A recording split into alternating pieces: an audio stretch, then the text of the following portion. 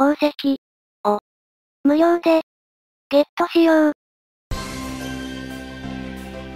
モンスターウォーロードにおいては結局、宝石が必要になります。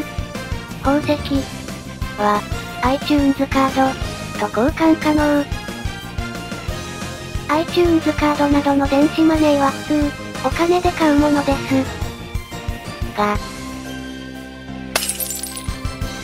実は、これを、無料で、入手する方法があります。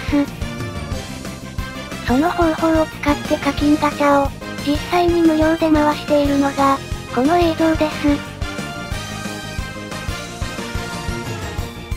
こちらは同じく iPhone のゲーム、パズルドラゴンズの課金ガチャですが、他の iPhone のゲームはもちろん、Android、モバゲー、 GREE、Ameba、mixi、すべての課金アイテムに使えます。